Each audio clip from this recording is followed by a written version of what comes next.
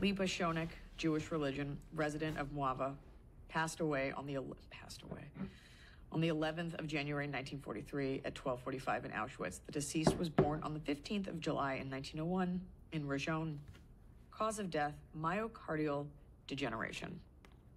What's it like to learn that you do, in fact, have a tangible blood connection to the Holocaust?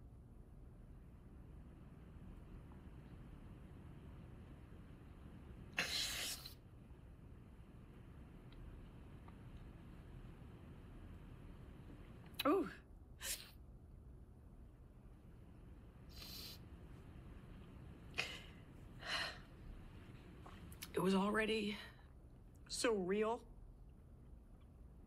And so now it's uh, palpable.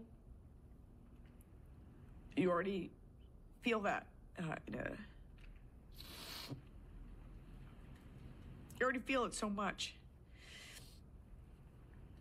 and like it's like a, a horrific missing piece